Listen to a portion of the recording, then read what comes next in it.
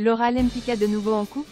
Elle répond enfin Laura Lempicka et Nicolas Lozina ont annoncé leur rupture début janvier 2023. La maman de Zlatan a-t-elle retrouvé l'amour?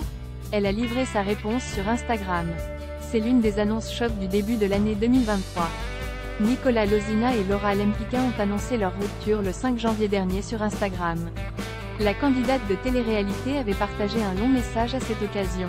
Nous dirons que toutes les belles choses ont une fin et c'est avec beaucoup d'émotion, beaucoup de respect et un accord commun. Que je vous annonce la fin d'une belle histoire. Nous avons réussi la plus belle des victoires. Notre fils. Et c'est ce qui compte le plus pour nous. Nous ferons en sorte qu'il soit le plus heureux possible. Je vous demande de respecter notre choix, notre relation. Nous avons été heureux ensemble.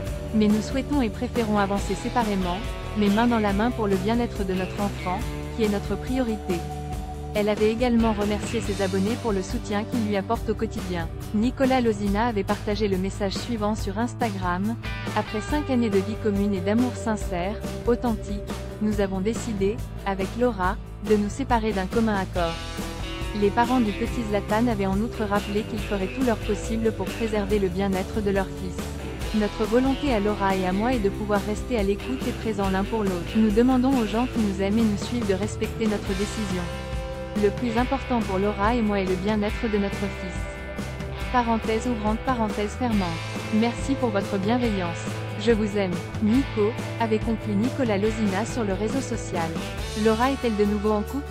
Peu de temps après l'annonce de leur séparation, des rumeurs évoquant le fait que Laura aurait trompé Nicolas à Dubaï avaient fuité.